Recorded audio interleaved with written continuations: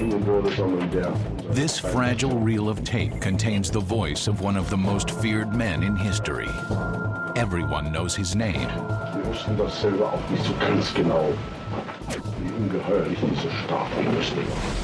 But it is also in a voice we have never heard before. You will discover that his voice is quite a pleasant one. Sie haben die ungeheuerste Rüstung This is a fragment of the only recording that exists of Adolf Hitler speaking privately, not as a screaming actor on the world stage,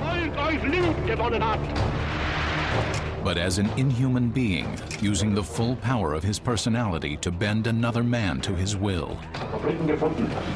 This thin piece of magnetic tape directly connects us to the real Adolf Hitler, and it is an extraordinary window into the mind and madness of one of history's most terrifying figures. By analyzing what Hitler says and how he says it, der Entschluss, der Entschluss, it is possible to go back in time and come face to face with a human monster. It is time to listen to the Hitler tape.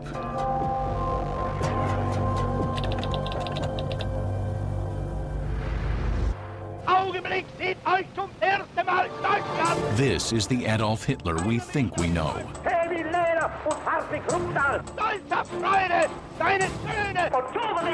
But this is just a caricature. Images culled from the Nazi propaganda machine. There is another Adolf Hitler we do not know, a soft spoken, almost charming conversationalist.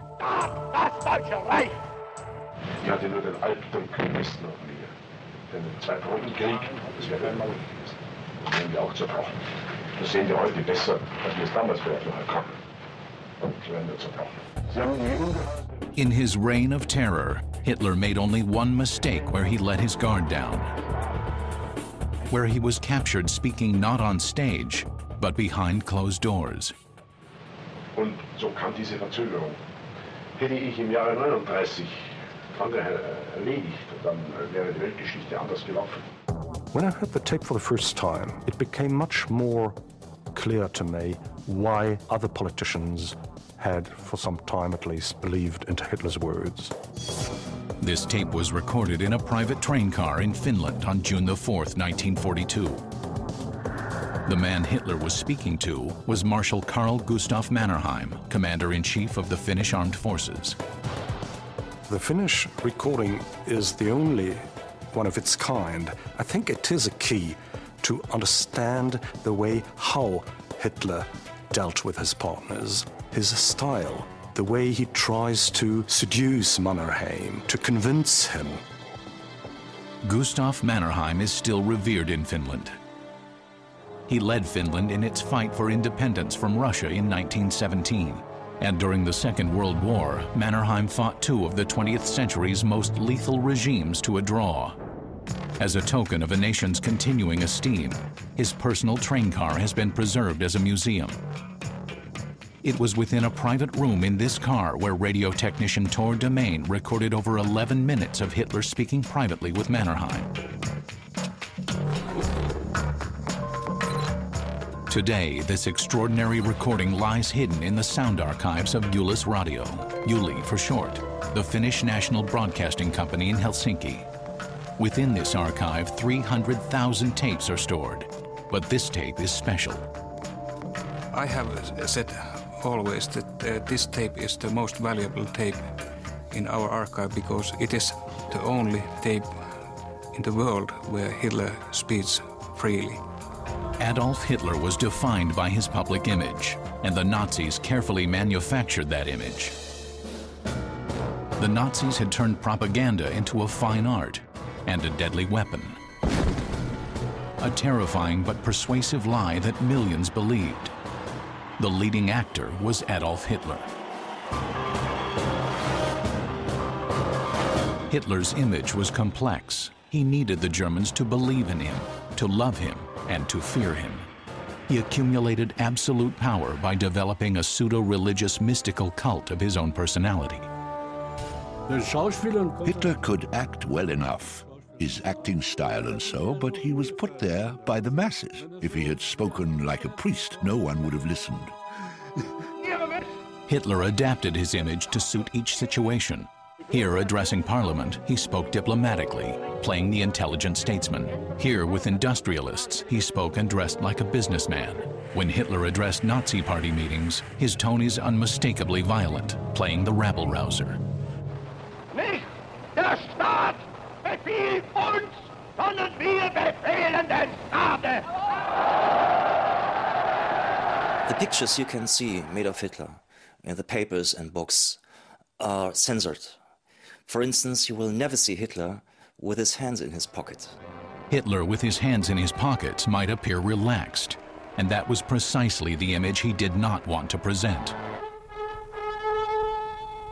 Hitler's public image wasn't only built up by the propaganda machine, it was also refined and distilled, stripped down to the bare essentials. In Germany, there was a strict censorship, especially with everything dealing with the Fuhrer, the leader himself. Photographs as well as interviews were strictly controlled. Hitler's public image presented him as a superman, a man invested with godlike powers. Here in the film Triumph of the Will, the message is clear. Hitler is descending from the heavens like a deity.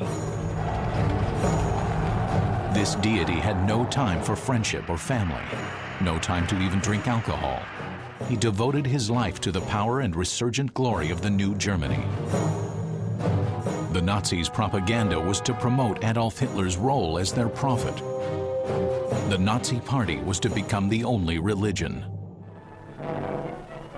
Throughout all the propaganda, Hitler's image is that of a solitary man standing in the eye of the hurricane of hate that he is whipping up around himself.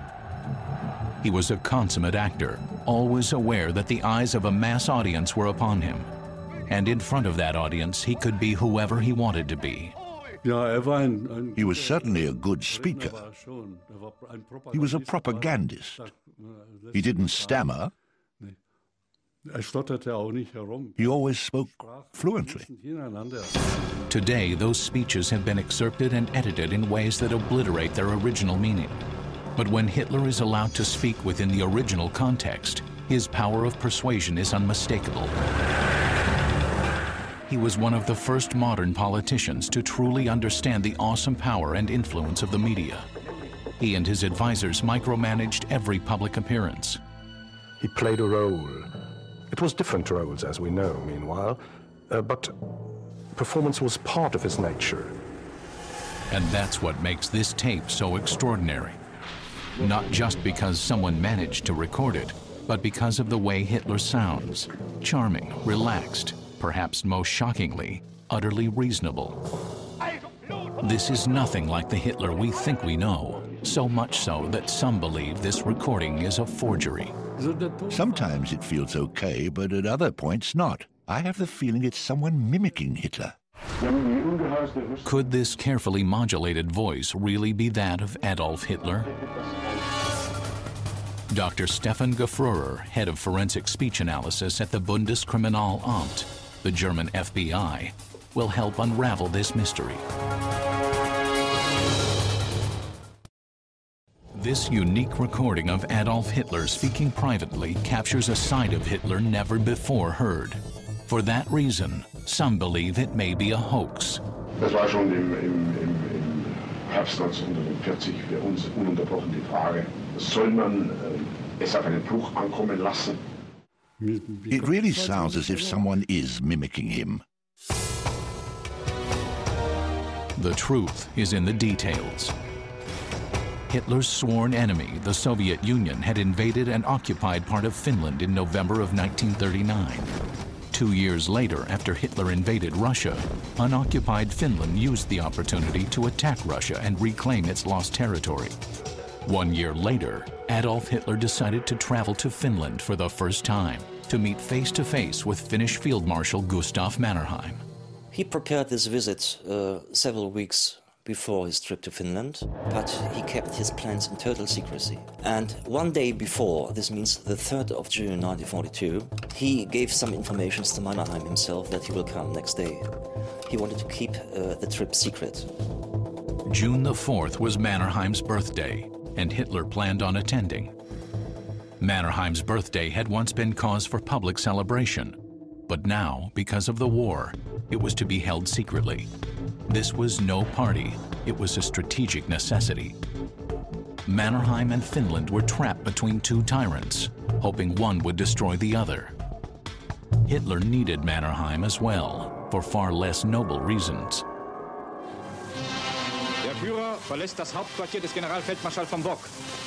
In June 1942, Hitler was unquestionably the most powerful man on the planet. Hitler had devastated the Soviet Union, and six months after Pearl Harbor, the United States was still only beginning to recover. Hitler's war had gone well, but not well enough, and this was no birthday celebration. Well, I think the moment for Hitler's visit to Finland was chosen very cleverly. On the one hand, it was a, in the broader context of grand strategy. Hitler's Blitzkrieg, lightning war, had bogged down in the Soviet Union. He needed the Finns to fight by his side, tying down as much of the massive Soviet army as possible. Hitler understood the meeting with Mannerheim very much as the meeting of two soldiers. He wished to meet him as a comrade, as a comrade in arms.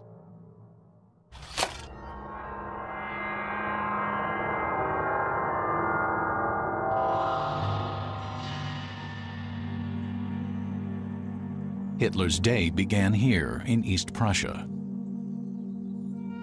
Today an overgrown forest, in the summer of 1942 these ruined bunkers housed the command center of the Nazi military state, the infamous Wolf's Lair. Hitler usually stays up very late and likes to sleep until noon, but on the morning of June the 4th, Adolf Hitler has an appointment to keep and at 8.30 a.m., his private plane, a converted Focke-Wulf 200 Condor bomber, rolled onto this airstrip and prepared to take off. But there was a problem. The brakes were jammed, a sometimes lethal design flaw of the Condor. These brake drums could catch fire on takeoff, and when the wheels were retracted, the burning tires would be lying directly under the fuel tanks. The problem was fixed, and Hitler took off. The security arrangements for Hitler's flight were intense. As he was flying past a war zone, anti-aircraft guns bristled, but German guns were ordered into silence. In the Baltic Sea, Finnish and German boats patrolled, ready to fight or ready to rescue. Nothing was left to chance.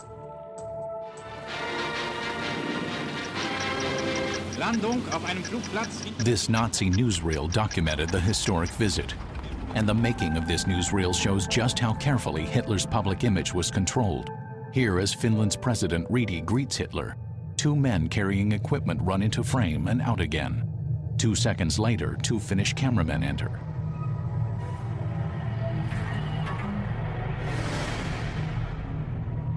What this film cleverly conceals is that when Hitler landed in Finland, his plane narrowly missed hitting a factory chimney braking so hard on landing that one wheel caught fire. This Finnish camera crew captured this burning tire, a tire blazing immediately below the fuel tanks. The German cameraman couldn't wait as Hitler sat under a time bomb, so he films as Hitler climbs down through the smoke. Unlike the choreographed landing in The Triumph of the Will, this farcical landing has to be rescued in the film cutting room. These extras are not carrying cameras, they are carrying fire extinguishers. This is a classic example of how Hitler's image was manipulated, how nothing would compromise what would today be called a photo op. Hitler has to see and smell smoke from this burning rubber, but he pretends it isn't happening. He maintains his focus on his image and his mission, and that mission was about to begin.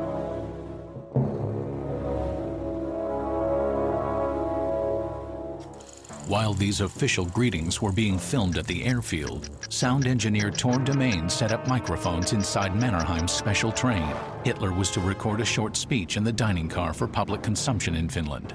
They prepared the uh, train, they put uh, several microphones in the restaurant wagon where Marshal Mannerheim received the guests. Damen had positioned two microphones between the luggage racks over Mannerheim's table in the dining car. The cable ran outside to where Damen had set up his recording equipment, two state-of-the-art reel-to-reel tape recorders. They wired these microphones securely to fit the space, hiding them in birch leaves so they were barely visible. At this table, they served Hitler his own special meal, a food taster having made sure the dish was not poisoned. The official speeches were recorded in the dining car, but the true affairs of state would be discussed in the privacy of Mannerheim's personal salon car. The public speech was recorded as planned, and then the men adjourned for a private meeting. As the men walked across the plank to the salon car, Damen hastily moved his microphones to the new location. He wanted to be prepared in case any more official remarks needed to be recorded. Hitler began a casual but secret conversation with Mannerheim. It was time for his real work of personal persuasion to begin. But outside, Tor Damen makes a momentous decision. Having set up his microphones, he decides to keep recording the now private conversation. Die ungeheuerste Rüstung, die äh, Menschen denkbar ist. Also, wenn mir jemand gesagt hätte, dass ein Staat Henrik Damen is Tor's son. The story of how this recording was made has become family legend, beginning with the secret installation of the microphones. since my father was responsible for the recording there, so he he found out that he couldn't record. The microphones were in the wrong car, so he took a microphone and went to the salon wagon, which had a window open, and he threw the microphone up to the baggage compartment. Wenn mir jemand gesagt hätte, dass ein Staat mit 35.000 Tanks antreten kann, dann hätte ich gesagt, Sie. He thought that he will make a good service for his uh, army and his uh, fatherland. Tor Damen put himself in mortal danger. The SS men guarding Hitler were trained to shoot first and ask questions later. But donning his headphones, Damen began to listen to the most significant sound recording of his life. But after 11 minutes, Hitler's guards realized what Tor Damen was doing. A German officer noticed and he demanded to stop immediately to record the conversation. Wie gesagt, das besser Radio gehört, aber Sie haben so, One of the German guards pointed a finger at Damen and made a cutthroat gesture. Sie wissen, ob diese Garantie Incredibly, the Germans didn't shoot, and even though they were furious, they didn't even confiscate the tape. And said, if this had happened uh, in Germany, you have cut your head off. Apparently, the recording was saved because the SS guards didn't dare to tarnish Hitler's media event, as shooting a Finn for spying or destroying Finnish radio property would have caused a major diplomatic conflict with one of Germany's most vital allies. The guards had to find a compromise. They ordered the tape to be sealed, never to be opened. These broken wax seals are still on the tape box. Afterwards, uh, naturally, the Finns uh, opened the boxes and listened what Hitler has told to Mannerheim. Then the tape vanished into history and the Damen cellar.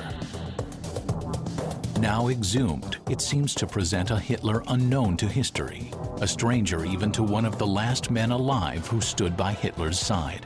Ich habe damals hätte nicht träumen lassen, wenn ich vorher eine Ahnung besessen hätte von dem Ausmaß. That wasn't Hitler, of course. That's not the way Hitler spoke. It sounds like it could be an actor. No, no, no, it's not Hitler's voice. I can't accept that this is Hitler's voice. Rochus Misch was at Hitler's beck and call from 1940 to the dictator's suicide in 1945, and Misch was also Hitler's private switchboard operator. If anyone still living knows Hitler, it is Misch. For as Hitler's private operator, he could distinguish Hitler's voice from all the other Nazi leaders. Die deutschen Fahrzeuge, die sind nicht erprobt worden, um sie etwa für den Winterkrieg herzurichten. Sometimes it seems okay, but at other points not. I have the feeling it's someone mimicking Hitler. Ich weiß, Finnland in diesem ganzen Kampf zu leisten in den ganzen Jahren, wie Opfer sind das finnische Volk bringt. Well, if Misch finds this voice pleasant, uh, this is not surprising to me because I guess that his experience with Hitler's voice was in a totally different setting.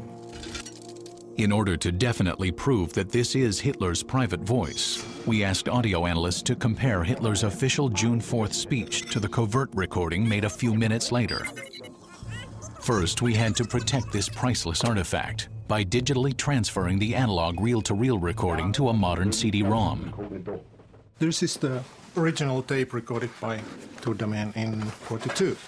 And you have to be careful with the tape because it's quite fragile. It cuts easily just by itself if you don't handle it carefully. Like that, you see, there's one. then audio analyst Stefan Gfroerer compared the source with the other Hitler speech recorded a few minutes earlier on the same microphones.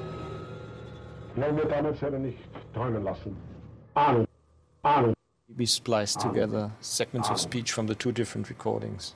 And we usually do this in order to, to listen if, if there is a sudden change in verbal behavior or in the, how the voice sounds. And uh, what we find here is that it's, it stays exactly the same. So it's, it's obvious for us that it is one voice. Our analysis leaves no doubt. This is Adolf Hitler. As close as Rochus Misch was to Hitler, he was not close enough to ever hear this voice. People are surprised at how pleasant he seems. But what can account for this relaxed, almost charming, low-key voice? There might be a very unscientific explanation. Hitler may have been drinking alcohol at his lunch. I do know he would drink Fernet Branca before addressing a big gathering. He drank a digestive spirit. Contrary to the Nazi propaganda legend that always portrayed him as being disciplined and sober. In fact, Hitler seems to have a glass of some spirit in front of him here with Mannerheim. Apparently not that unusual an occurrence. And I saw him drinking beer, traveling in the train, in the restaurant car. I was eating there and I saw him drinking a beer, a Holzkirchnerbräu. This extraordinary series of photographs of the meeting, taken by a Finnish military photographer, also uncovers a discrepancy in the Damen family legend of a secretly placed microphone.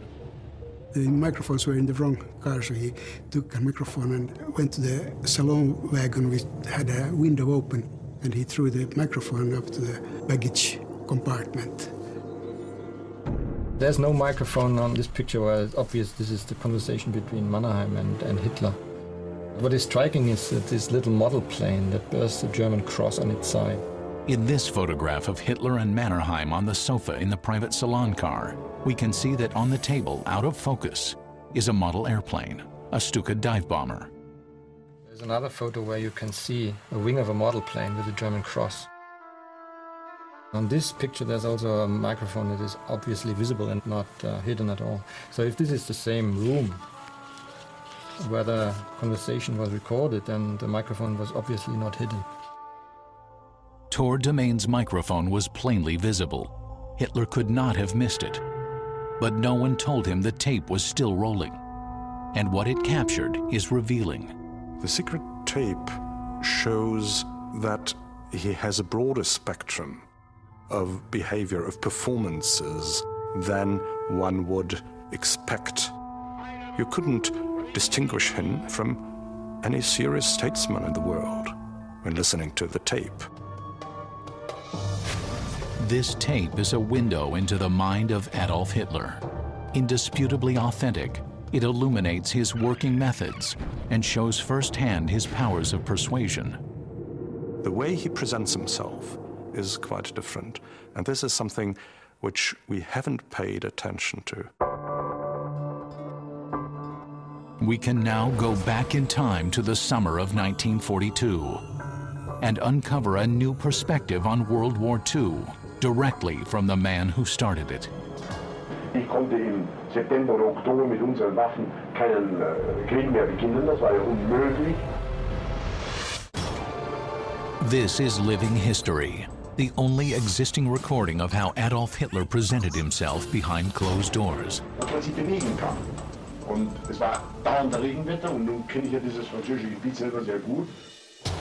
Hitler was caught speaking candidly with Finnish military leader Karl Mannerheim as part of a carefully choreographed ballet of deception. The conversation seems pleasant, one friend to another. But what did Mannerheim really feel about Hitler? Raw footage taken that same day provides some clues. Here, Hitler is clearly putting on a show, but Mannerheim listens skeptically He seems bored, politely hiding his irritation. Here, Hitler presents Mannerheim with a gift of two armored staff cars. As soon as Mannerheim breaks eye contact with Hitler, he looks irritated. Alone with his Finnish soldiers and politicians, Mannerheim is very relaxed, treating his comrades with affection. But here, his expression conveys dislike and distrust of Hitler. While the film cameras recorded Hitler crossing the plank to Mannerheim's train, a Finnish photographer caught a candid image. As Hitler almost clowns on the gangplank, in the background Mannerheim smiles, his expression enigmatic, a symbol of a tense relationship strained by the Finns' adamant refusal to cooperate in any way with Hitler's Holocaust.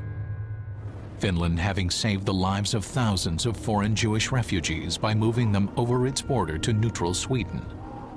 There were Jewish soldiers in the Finnish army, a very tragic situation of soldiers fighting along with the Germans for a cause of which they didn't know uh, what would come out, and it would be a tragedy, uh, especially to the Jewish soldiers, whether they would win or lose.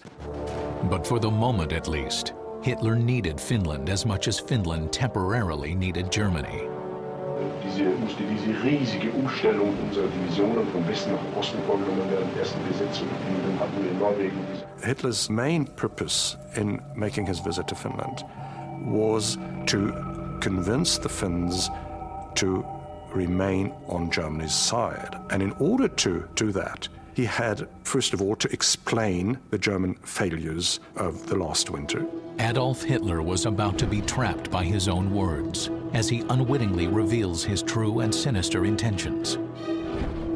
The discussion on the tape centers on the Soviet Union. In it, Hitler confesses that he underestimated their strength when he attacked in June of 1941.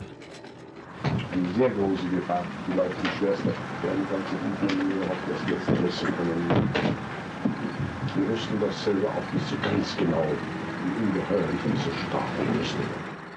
Mannerheim agreed. He had already fought the Red Army in the 1939 Winter War. He had tested the Russian strength.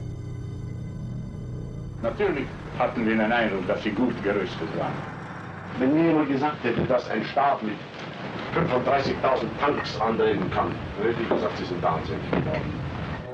Here, Hitler talks like a businessman who has underestimated his competitors.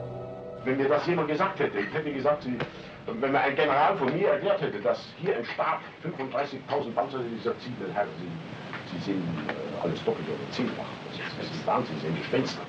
Hitler tried to appear serious to Mannerheim, to give the impression of a competent leader whom you could trust. But for Hitler, trust was just another weapon in his arsenal of deceit.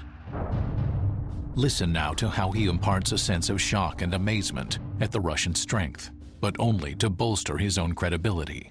Heute ist dort eine Panzerfabrik, die in der, in der ersten Schicht etwas über 30.000 und in den Vollausbau über 60.000 Arbeiter beschäftigt. So eine einzige Panzerfabrik. Wir, sind, wir haben sie besetzt. Eine, eine gigantische Fabrik. One single tank factory, we occupied it, a gigantic tank factory. So he uses a lot of modulation to show that even he was impressed by this size.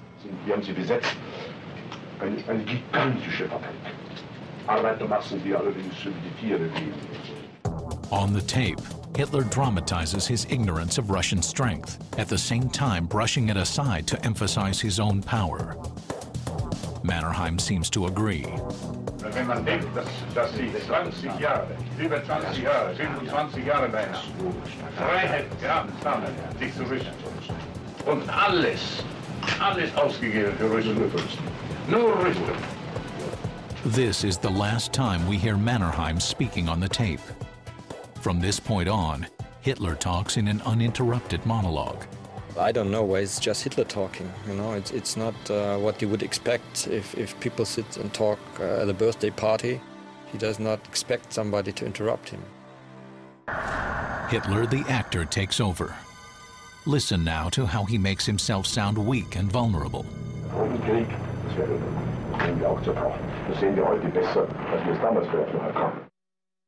Treaties only serve to buy Hitler time.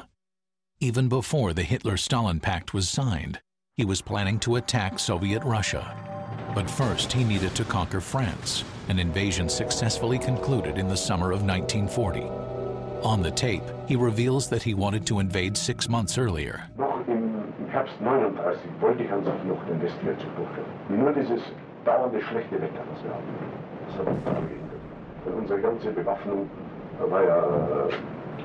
Es ist eine Schönwetterbewaffnung. Sie ist sehr sie ist gut, aber seit der ältesten Zeiten her, kann man nicht Krieg führen. Hitler then speaks about late 1939, the period when Stalin attacked Finland and Hitler was planning to attack France, the first major step on the road to subjugating Europe. Wir sind im Herbst 1939 immer vor der Frage gestanden, ich wollte unter allen Umständen angreifen und ich war überzeugt, dass ich in sechs Wochen mit Frankreich werden werde. Hitler is boasting, and his hubris is audible. He wanted to attack under all conditions, so this is very strong. Hitler's blitzkrieg tactics depended on all conditions being favorable. Hitler had invaded France once before as an ordinary soldier in World War I. An der Nordkante selber, ich bin vier Jahre lang Soldat gewesen im Großen Krieg. Und so kam diese Verzögerung. Hätte ich im Jahre 39 Frankreich erledigt, dann wäre die Weltgeschichte anders gelaufen. So musste ich bis zum Jahr 1944 warten. Hitler did not shrink from telling the truth about his conquest of France, a nation which had wanted to help the Finns in 1939. It is not surprising that Carl Mannerheim, a true officer and a gentleman, had fallen silent. June 4th, 1942. In a private train car, Adolf Hitler didn't know that his private conversation with Finnish Commander Marshal Mannerheim was being recorded, every word and every nuance being transcribed by history.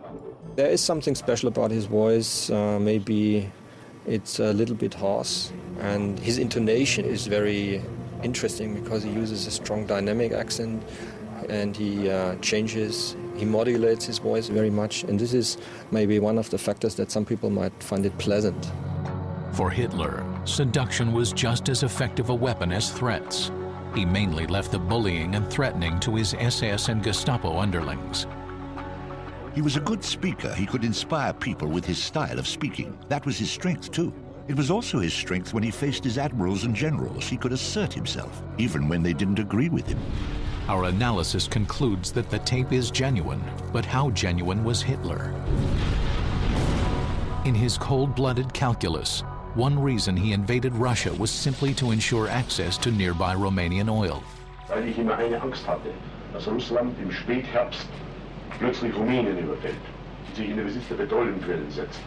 Und wir wären ja im Spätherbst 1940 noch nicht fertig gewesen. Wenn nun Russland die rumänischen besetzt hätte, dann wäre ja Deutschland verloren.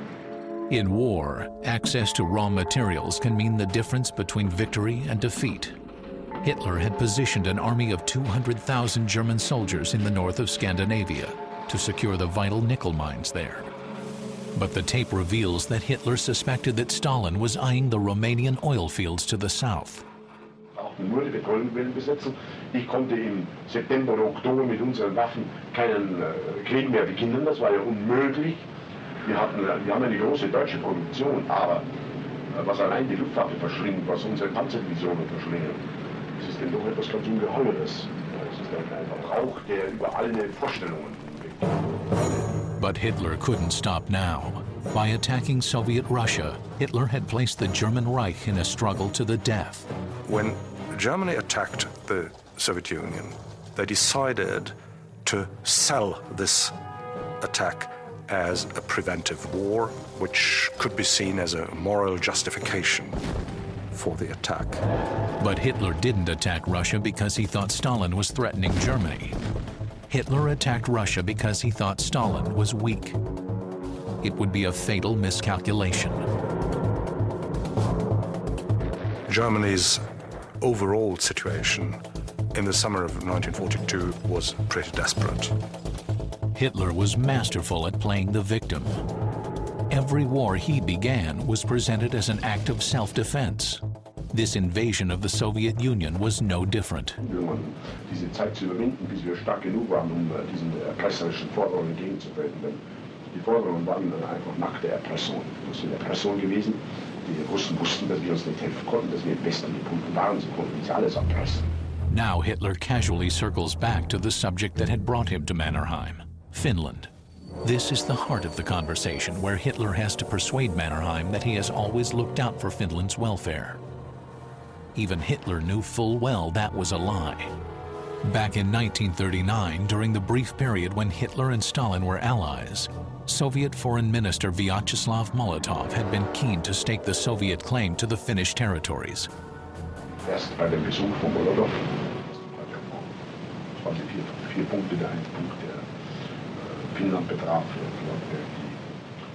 Freiheit, sich vor den finnischen zu schützen, sagte, dass Finnland sie bedroht.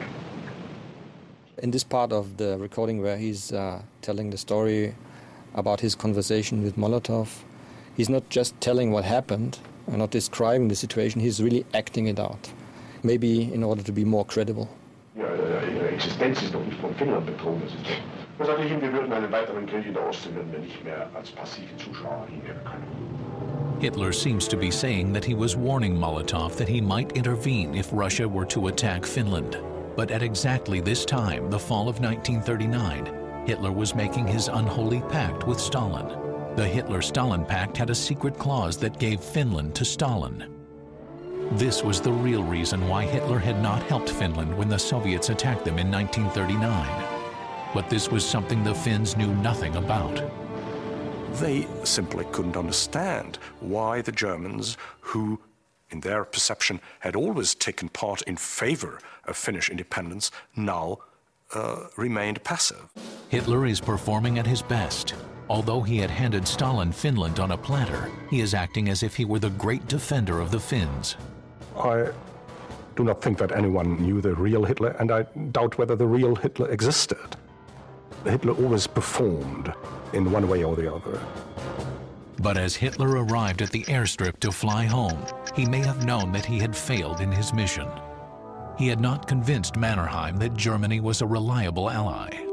Hitler's war would grind on, and as the tide turned against Germany, so too would Finland. The final reality of Hitler's attempted seduction of Mannerheim was when he turned on the man whose birthday he had just celebrated. Two years after this meeting, the Finns declared war on Germany and signed a peace treaty with the Soviet Union. The betrayed Finns had turned on their German betrayer. Hitler showed his true colors. He wanted his revenge and ordered a scorched earth policy.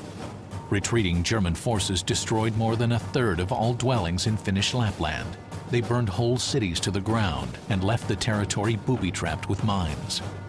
A man who built an empire out of lies was true to his character, a character that was expressed not only in what he said, but in how he said it.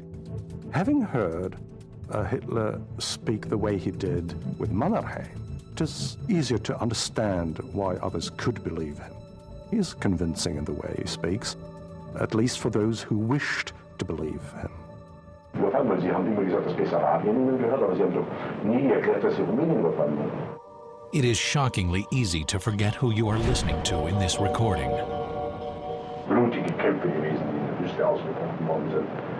The banality of evil has never been so apparent. When Hitler refers to the Soviet factory workers as animals, Arbeitermassen, die alle wie Tiere leben.